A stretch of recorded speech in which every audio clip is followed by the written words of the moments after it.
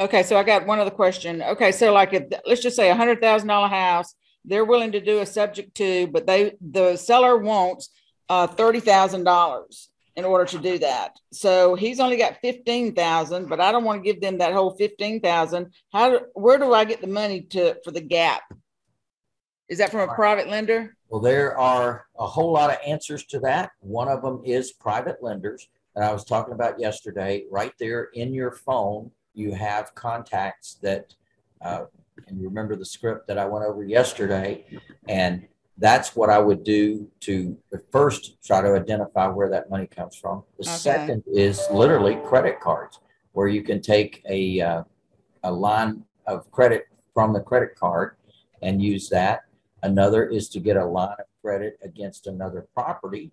Um, you know, a, a HELOC that they do desktop underwriting at the bank. So there, that's some quick access to, to funds Okay. at, at a lower interest rate. The next is hard money financing. Uh, and, and there's lots of hard money lenders out there, including me.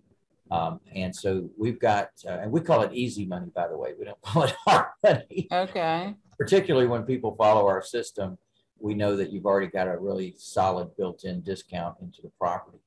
Uh, so there, there are, are methods, and I always try to give you the the cheapest ones first, and of course, the cheapest ones are sometimes the hardest ones, but still, uh, those are the best methods to be able to get the money, and uh, uh, we can help you through that process. okay, And uh, Carolyn, when when you go through uh, Millionaire Jumpstart, you will uh, learn about the cost to sell worksheet, okay, and that is a wonderful negotiation tool.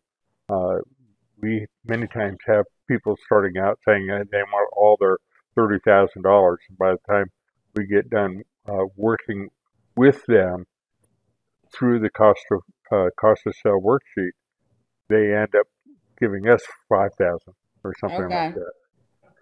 all right. Thank you.